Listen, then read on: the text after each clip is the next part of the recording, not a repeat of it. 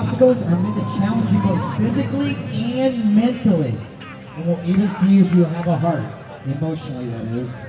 10 plus miles of running, climbing, jumping, swimming, scratching, and crawling.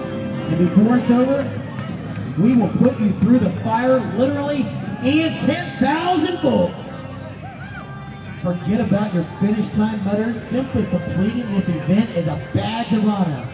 But Mudders, not everyone will finish, and this is a statistical fact. Some of you will get hurt, other you wimps will simply quit. But those that do complete these 10 toughest miles of their life will earn the orange headband and the right to call themselves a tough Mudder.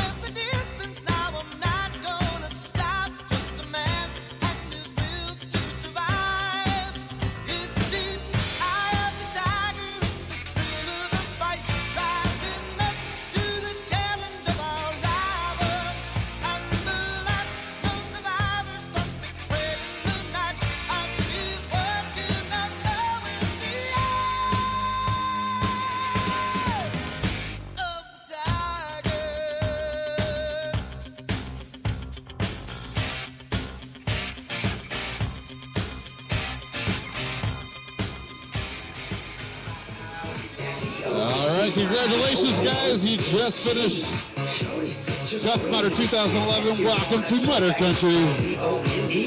Let the party begin.